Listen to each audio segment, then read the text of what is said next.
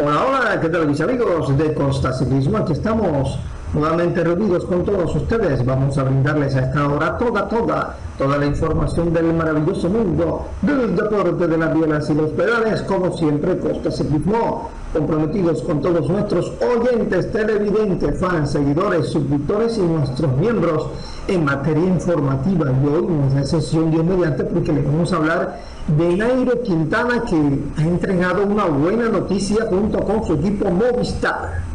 El elenco telefónico que hoy en la tercera etapa o en la quinta etapa de la Vuelta a Burgos rozó la victoria. No se le dio, fueron tres podios que consiguió el equipo de Nairo. No pudo conseguir el título, pero bueno, ya vendrá. ¿Qué dijo Nairo? ¿Cuál es la buena noticia? Junto con el equipo del telefónico ya les vamos a contar. Igualmente hablaremos de nuestros latinoamericanos que estarán en la ronda de la clásica San Sebastián, la Clasicoa, una de las eh, carreras más importantes que tiene el calendario español junto con la Vuelta España. Esta carrera será este sábado, así que le vamos a contar quiénes estarán allí con una importante reaparición por Colombia. Bien, mis amigos de Costa Ciclismo, gracias a todos por la sintonía muy amable. Recuerda dejar tu like, activa la campanita de notificaciones y suscríbete ya a Costa Ciclismo. Queremos llegar a 224 mil suscriptores antes de que finalice esta segunda semana de, agosto. Por tu ayuda lo vamos a conseguir. Simplemente tienes que darle clic al botón de suscribirte y listo, de una te conectas con nosotros. Como aquí los, los eh, dos ojos auxiliares, señoras y señores. Bueno, muy bien, puedes hacerte miembro de este canal, puedes donar si tú quieres dándole clic en el símbolo eso. Sin más preámbulos, Nairo hoy al final habló con medios españoles, como hizo el otro día. Hoy ha entregado una buena noticia porque había incertidumbre, expectativas, eso estaba en el aire definitivamente. ¿De qué estoy hablando? Bueno, él mismo lo va a comentar, él mismo lo va a decir porque después de la caída en la Vuelta a Burgos, después de las laceraciones, de los raspones, de los golpes, de no poder dormir bien, Nairo finalmente terminó la Vuelta a Burgos y trabajando para el equipo. Ahí lo vimos que se cortó en el final de la etapa de hoy, pero en el descenso logró conectar nuevamente.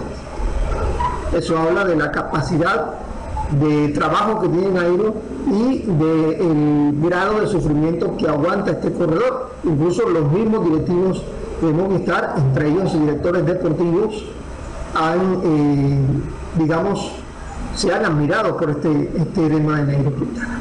Pero bueno, él va a contar lo que está sucediendo, él va a hablar de, lo de la buena noticia y cómo finalmente finalizó esta competencia que tuvo cinco etapas. Aquí están las palabras de Nairo. Bueno, estoy contento porque pude seguir en carrera, pude terminar, eh, seguí tomando ritmo, eh, buenos kilómetros para las piernas y, y, ya recuperando de mejor manera para, para, la vuelta. Una semana y a la vuelta. Una semana estaremos rodando por aquí y listo para Portugal para el inicio de la vuelta.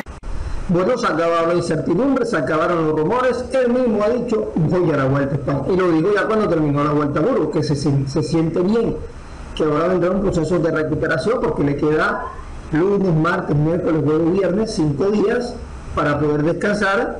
Eh, claro, tiene que entrenar, seguir entrenando, porque la Vuelta a España comienza el sábado en Portugal, serán cuatro etapas en Portugal, pero van a ser días donde Nairo podrá tomar un respiro y ya pensar en lo que va a ser la ronda ibérica, donde seguramente, y como él mismo lo dijo, va a trabajar para Henry que va a ser el capo o escuadra del Movistar, pero no quita de que Nairo pues, tenga la oportunidad de pronto de buscar una etapa y también de ayudar a su compatriota Iner Rubio que estará compitiendo ya, ya le voy a confirmar dónde va a competir, porque eso hace parte de la, del otro bloque informativo. Así que enhorabuena por este ciclista, señoras y señores, que está ya en los últimos años de su carrera profesional, pero que todavía tiene. Lo que este año Nairo Quintana ha tenido mala suerte, definitivamente.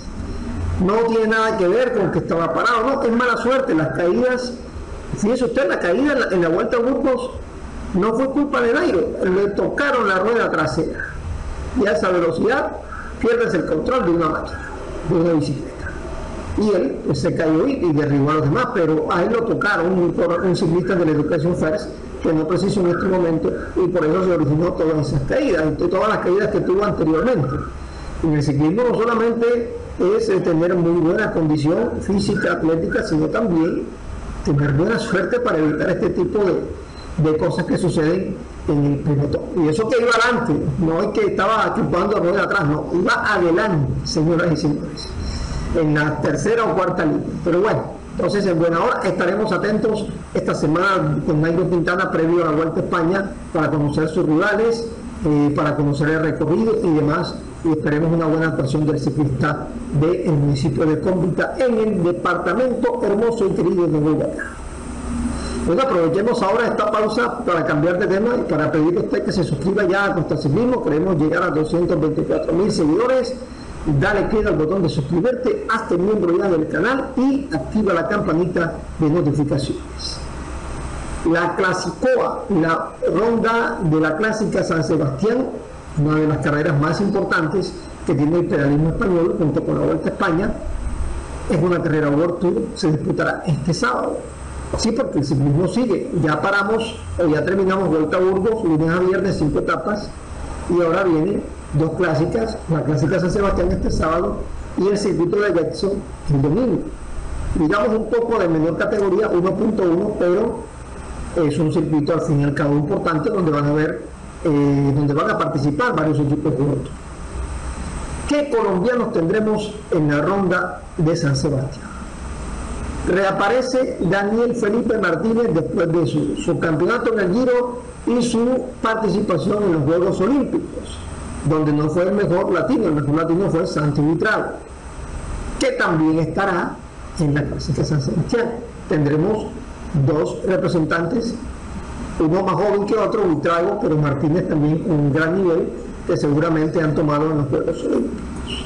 Serán dos de las cuotas latinoamericanas a participar. Yo tengo aquí la lista. Eh, Santi por el Bahrein, eh, Daniel Felipe Martínez por el equipo de Red Bull de Bora, que tendrá también a Sergio Vita, que fue top 10 en la Vuelta a Burgos. Eh, bueno, ¿qué otros colombianos estarán? Santi Umba, Santiago Umba de la Astana, finalmente se retiró en la última etapa de la Vuelta a Burgos, pero quizás para guardar un poco para esta carrera, el Movistar tendrá a dos colombianos, Einer Rubio y eh, el, el y va Ramiro Sosa. Dos colombianos allí, eh, seguramente Rubio como cabeza de, equipo, ya que no estará en Rimas en esta competencia. Es una carrera que tiene mucha montaña, mucha montaña aparte de, esos dos eh, corredores de, colombianos de Movistar, eh, colombianos pues no tendremos más. Solamente ecuatorianos, Jonathan Narváez, que vuelve también de los Juegos Olímpicos, encabezando el equipo de niños, será el capo escuadra en esta carrera, Jonathan Narváez, el ecuatoriano, y Jefferson Albeiro Cepeda, después de su eh, top 10 en la Vuelta a Burgos, estuvo de segundo antes de la crono, estará entonces eh, con el equipo del Caja Rural. Habrá un uruguayo, Guillermo Tomás Silva, Guillermo Tomás Silva, que también está haciendo su recorrido en territorio europeo, eh, haciendo carrera por el equipo banquero de España. Esos serán entonces los latinoamericanos. Ah, se me quedaba muy bien importante. Isaac del Toro, el mexicano, que eh, tuvo su última carrera Isaac del Toro en el Tour de Suiza el pasado 9 de junio, es decir, que está descansadito el mexicano para hacer un buen papel con el equipo de Emirates. Y de los favoritos, hombre, estará uno de los cuatro fantásticos, Jonas Vingegaard, encabezando el Bismarck Isabel, que será el gran favorito, porque aparte de Vingegaard lleva, llevan a Seth Cox, reciente ganador de la Vuelta a Burgos. Así que yo creo que eh, va a ser difícil ganarle a Vingegaard, ¿no? Después de lo que hizo en el Tour de France. Estará Ben por el Decathlon, estará Romain Bardet por el BCN con Baron Bardier, Julio Ticone del Liga del 3 también estará. Eh, varios corredores importantes del Lotto, del Intermar, del Israel, eh, con Michael Woods, de Jacob que tendrá Simon Yates, que ya se está despidiendo del equipo del equipo Jacob para enrolarse en el Bisma la próxima temporada, el Cofidis con Luis Aguirre, que siempre hace buenas carreras allí. En fin, eh, Lenny Martínez también haciendo sus últimas carreras con el Grupama porque eh, se marcha Lenny Martínez del equipo del el Grupama, se va para el Bahrein Victorious. Bueno, muy bien, señoras y señores, gracias a todos por la sintonía muy amable. Recuerda, deja tu like, activa la campanita y suscríbete ya a Costa Ciclismo. Te vamos a dejar con el resumen de la etapa de hoy de la Vuelta a Burgos, por si acaso no lo has visto, aquí te la dejamos para que sigas conectado con nosotros. Chao, nos.